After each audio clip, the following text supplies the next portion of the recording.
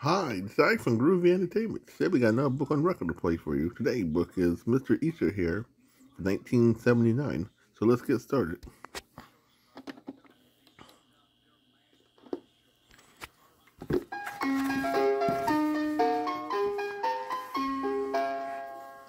This is your Kid Stuff read-along book. Every time you hear this chime, it means that you are to turn the page in your storybook. Now we are ready to begin our adventure into the land of fun.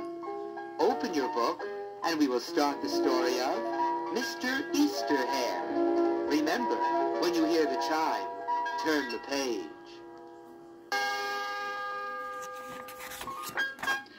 The people of the little village were very upset. Soon it would be Easter, and they had nothing to give their children for Easter treats. The people of the village were very poor. There was a terrible drought in the valley where they lived, and all their crops withered on the vines and died.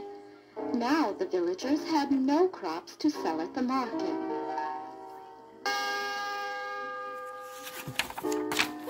And no crops to sell meant they had no money to spend. To the people of the valley, Easter was just as important a time as Christmas was.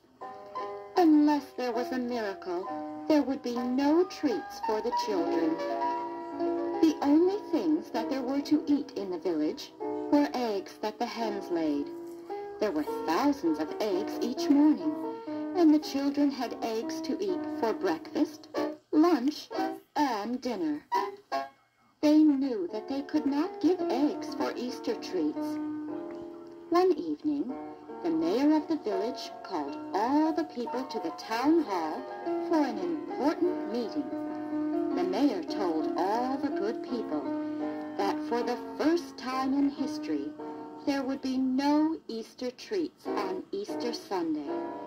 The mothers and fathers were all sad.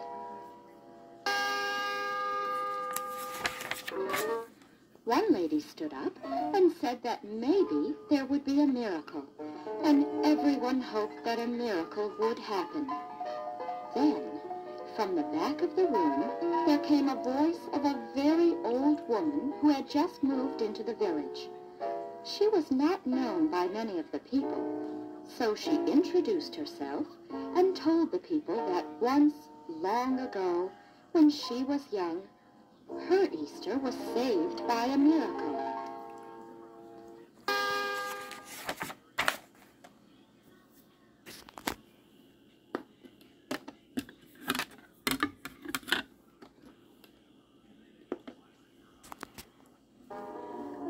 All the people turned and looked at her. The mayor asked her what was the miracle. She told all the villagers to collect all the eggs that their chickens had laid and to bring them to her small cottage near the great forest. Then she told them to find different colored dyes and bring them with the eggs. The people looked at each other and all nodded. If it would make Easter morning happy for the children, then they would do as she asked. For the next week, there was great excitement in the village. The grown-ups were always whispering among themselves, and they would stop talking completely as soon as a child came into the room.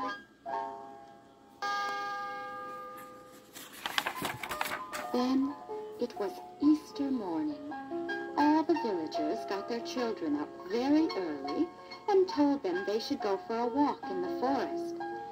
Soon all the children were walking with their mothers and fathers through the forest. Then a little boy cried out that he saw a green egg. Then another one found a red egg, and a little girl found a blue one. The children gathered up the eggs from under the trees and the bushes in the forest. The parents looked at their children's eyes gleaming and the smiles that covered their faces. The children were finding eggs of 100 colors. Who could have left these eggs, wondered the little children.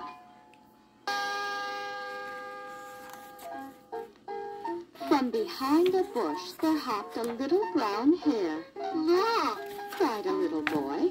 the bunny must have left the colored eggs. The children all agreed. It was a magical Easter hare that had brought the eggs. The mothers and fathers all nodded their heads and smiled. The villagers all looked at the little old lady who had told them of the miracle of her village long ago.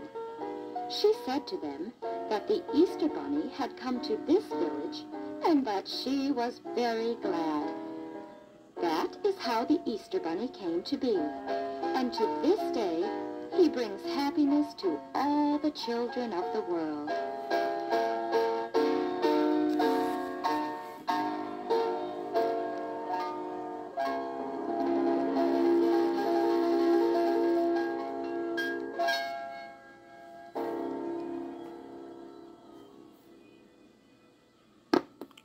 So that was Mr. Easter Hare for 1979. So if you like, subscribe, share, and comment, have a great day. And our next book will be